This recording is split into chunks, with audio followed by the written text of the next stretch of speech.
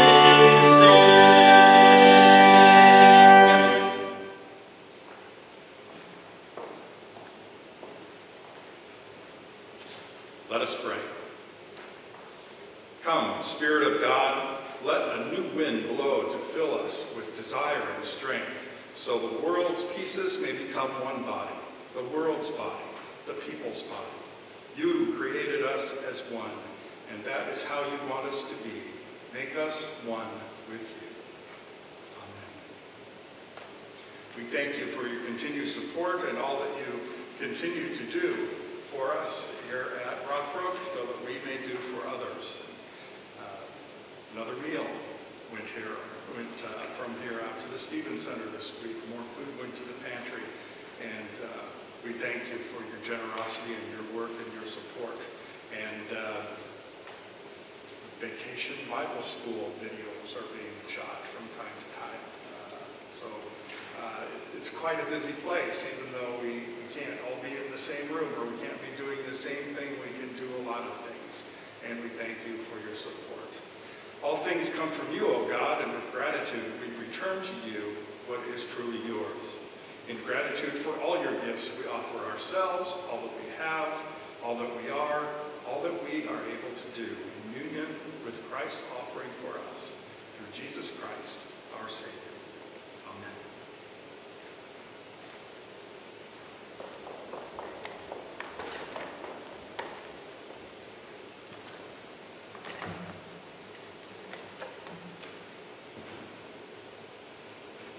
Hello, children.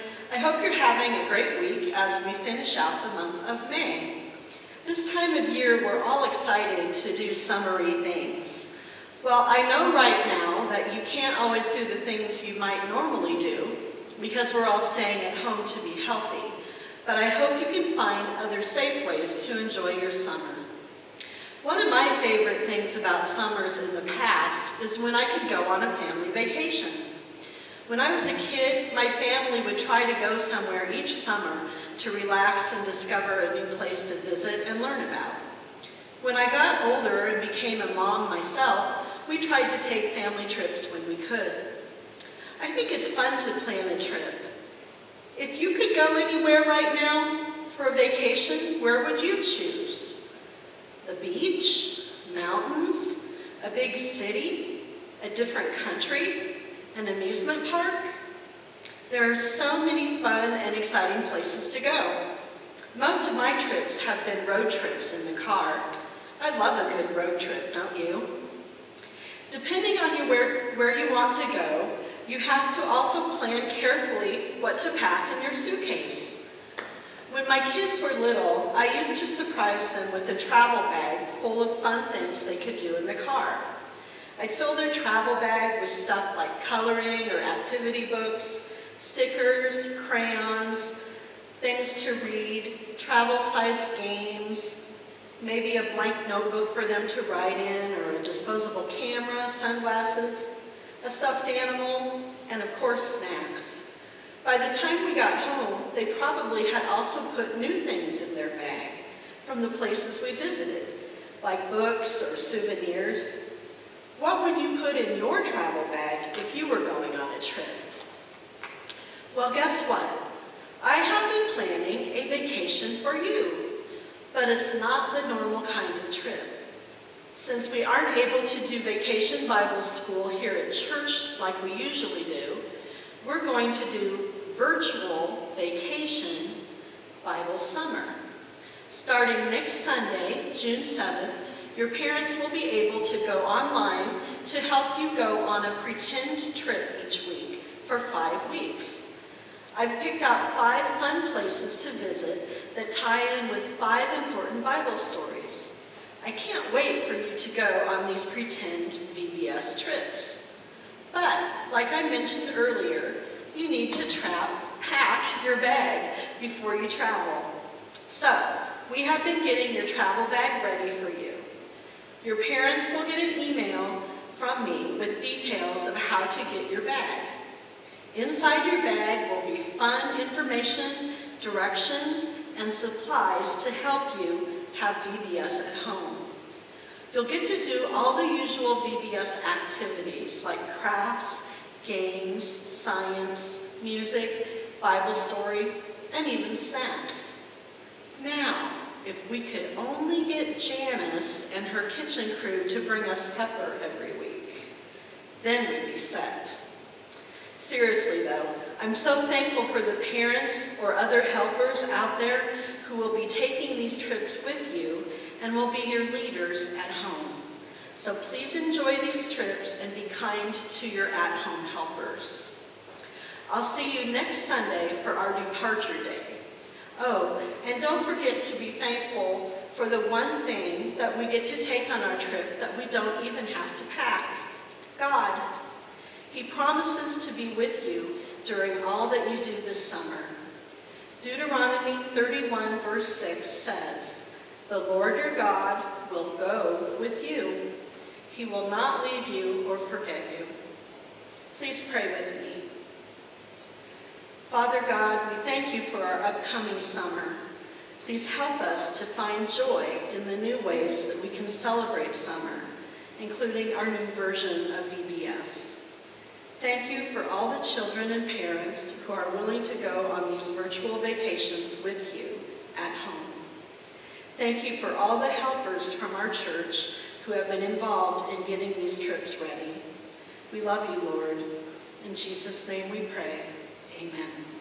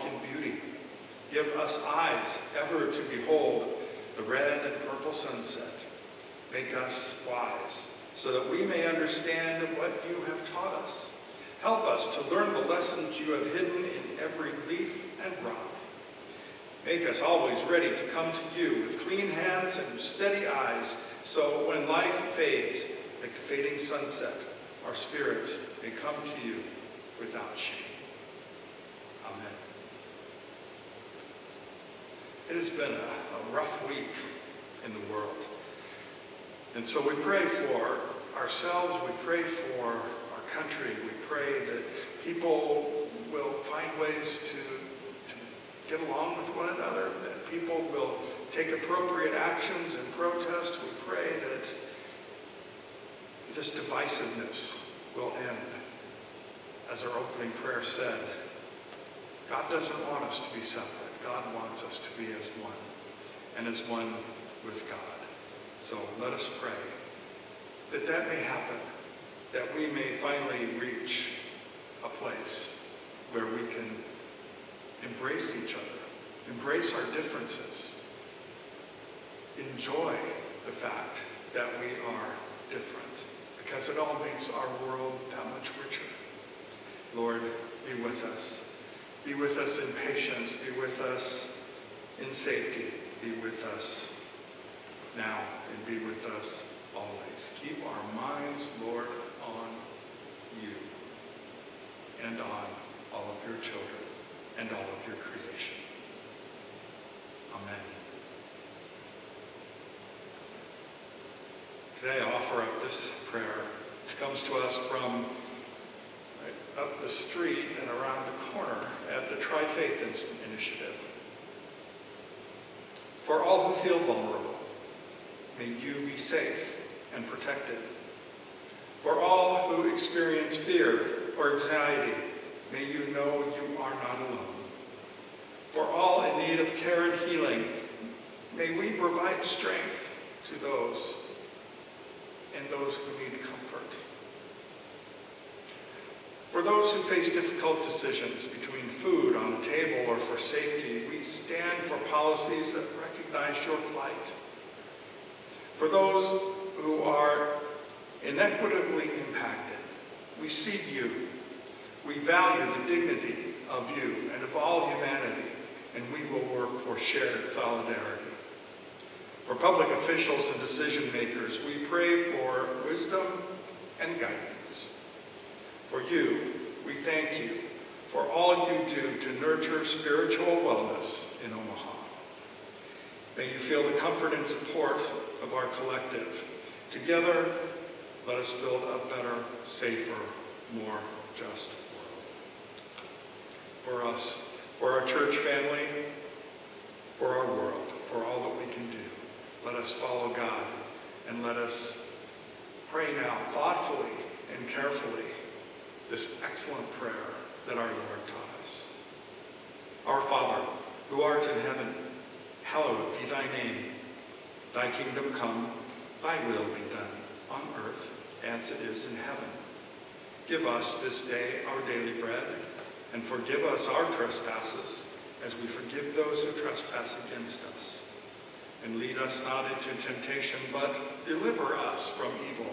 For thine is the kingdom, and the power, and the glory. Amen.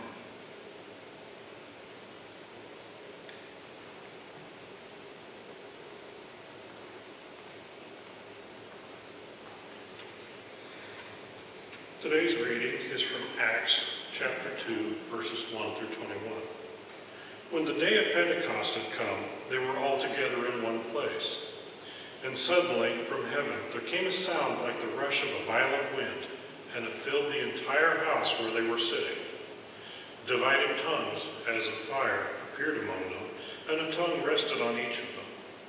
All of them were filled with the Holy Spirit and began to speak in other languages as the Spirit gave them ability.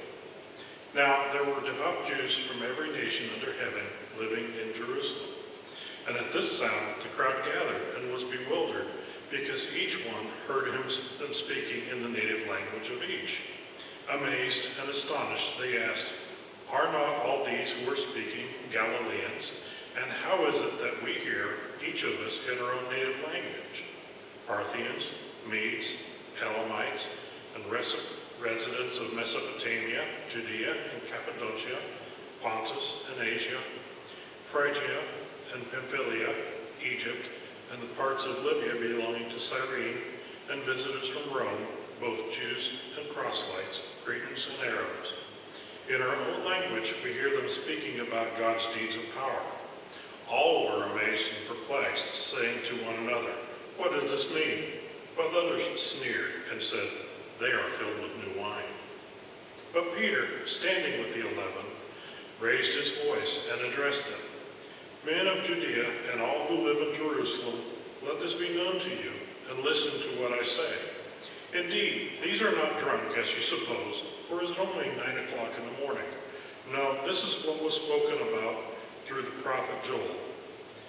In the last days it will be, God declares, that I will pour out my spirit upon all flesh, and your sons and daughters shall prophesy, and your young man shall see visions, and your old man shall dream dreams. Even upon my slaves, both men and women, in those days I will pour out my spirit and they shall prophesy. And I will show portents in the heaven above, and signs on the earth below, blood and fire and smoking mist. The sun shall be turned to darkness, and the moon to blood, before the coming of the Lord's great and glorious day. Then everyone who calls on the name of the Lord shall be saved. This is the word of the Lord for the people of God. Thanks be to God.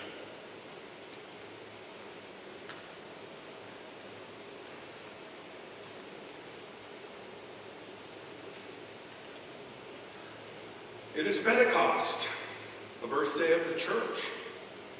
That first Pentecost that Tyson just read about for us, the Spirit poured into the disciples, and Peter's tongue responded with the words of the prophet Joel. Well, like so many people today, Joel witnessed devastation wrought by nature and human oppression. Joel called the people to gather and worship, to cry out to God, to repent of the ways that cause destruction, and become prophets themselves, dreaming dreams of a better world. Prophets are often called to speak God's truth in times when God has been forgotten or ignored. The Bible tells us that the work of a prophet can be dangerous and challenging. Even today, it is so.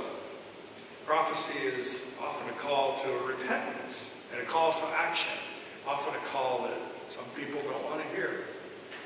When we're at our best, Methodists have always been actively prophetic. We have ventured to make things right, to fight injustice, and to actively respond where and when we are needed. A century ago, we developed our first set of Methodist social principles, and we proclaimed what were then radical, crazy ideas, like an end to child labor, public education available for all, and access to health care. On that first Pentecost, the Holy Spirit came to the church as a rushing wind and appeared as tongues of fire. It must have been extraordinary, but there was another miracle happening that day the miracle of hearing and listening. There was a great crowd in Jerusalem for the Festival of Weeks. It was one of the best parties of the year. Many people came to take part in it. And somewhere in the city, in some nondescript little hiding place, were the disciples. On that day, though, they received the Holy Spirit and they went out into that crowd of, of partiers and began to preach the good news. Have you ever been in a crowd and tried to get everybody's attention? Have you ever seen me try to get everybody quiet at a funeral lunch so I can offer the prayer? Imagine thousands of people. But that's what the apostles did. They walked out there and they got the people's attention. They not only got their attention, but they got them to listen to the good news that allowed people to hear in their own languages. And there were hecklers, as the story tells, us, and there are naysayers, but at the end of the day, 3,000 new believers were baptized. 3,000 people listened. 3,000 people acted. Today, the church continues to live out the vision of the prophet Joel. We gather, we repent, and we dream. When we gather for worship, we renew that Pentecost miracle. We listen, we repent, we renew our spirits for the task of promoting God's compassion and justice. We seek to continue to prophesy, to be visionary, and dream of how we can make God's world a better place. We prepare to act. We repent. For what do we repent? Well, it seems the COVID-19 pandemic has shed a particular light on that question. When we look back at those radical concerns that Methodists had 100 years ago, and we take stock and ask those same questions and look at those original social principles, about families, education, children, healthcare, we're slipping. Children, families, the poor, we have children in our community who are malnourished and hungry. An ongoing problem is access to nutritious food, especially fruits and vegetables. A peculiar sign of malnutrition now is obesity in children because these children only have access to junk food. It's a particular problem east of 72nd Street. We have children, families, youth without a roof overhead. Perhaps the saddest are the unemployed or the underemployed and the underpaid who have to choose between food or shelter. And although we learned in grammar school that child labor had been eliminated in this country, the fact is that many children must work because their families cannot survive without the additional income. Regarding education, well, I suppose during this time every family with a child in elementary, middle, or high school has a new appreciation for our teachers and our schools. With that new appreciation, will we start paying teachers what they're worth? And another crack in the system is in the education that we send out to our communities related to COVID-19 in general, and especially the lack of information that's available in languages other than English. In our area, the lack of information available in Spanish is the cause of higher rates of illness among Hispanic and Latino people. These are the people who are processing our food. This is our problem. In healthcare, well, on Thursday I was in a conference with Dr. Ali Khan. He's an epidemiologist who is the Dean of Public Health at the University of Nebraska Med Center, and he chairs the board of the Tri-Faith Initiative. You may have seen him on MSNBC, CNN, or a variety of other shows. He tells us that healthcare is one of the major problems in this country, not just now. This is just showing a new light on it. 10% of people in this country have no access to health care whatsoever, and a significant portion of the 90% who do don't have access to the best health care. We get what we get. And according to Dr. Khan, the United States response to this pandemic has been weak, untimely, and unimaginative, his words. Especially when we have already seen how other countries had responded. He contrasted the United States with South Korea, whose responses started the same day. South Korea now averages four new cases of COVID-19 per day. Four. On Wednesday in Omaha alone, we had 274 new cases of COVID-19. If anything is going to change, we have to hold our elected leaders and ourselves accountable for reducing the rate of COVID-19 transmission. There are Asian and European countries that have successfully reopened. They don't have better doctors, they don't have more information, they don't have a vaccine, they have a better plan. And they're carrying it out. And they're cooperating with one another in carrying out the plan. Dr. Khan went on to assert that COVID-19 in the world of pandemics, this is not the big one. Not to belittle those who are suffering, but in the history of pandemics, COVID-19 is just a wee blip on the radar. This should make us stop, and it should be a wake-up call for us to prepare ourselves for the big one if it really ever does hit, but to let us take stock in how we work with one another how we work for other people's benefit, not just our own.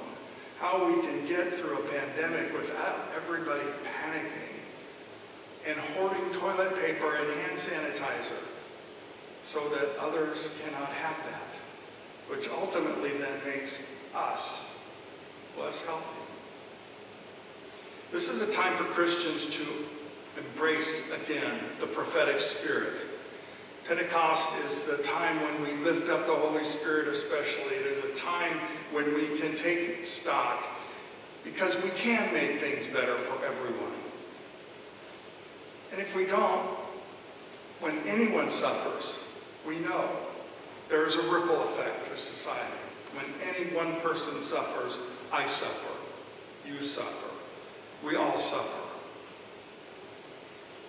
Faith Faith is the tool that we need to repair the brokenness that has been brought to light in our country, in our community. It's time to listen, to repent, and to act, just as Joel said thousands of years ago, just as Peter repeated 2,000 years ago, just as we have repeated today. We need to let God come into our hearts and really listen to God through whomever God is speaking at that moment, and it could be anyone. Loving God, let us once again experience the miracle of hearing and listening. Send your Holy Spirit to your children once again. Light a fire in our hearts, a fire of justice and love and compassion. Help us to live out the kingdom vision that you offer us. In Jesus' name, amen.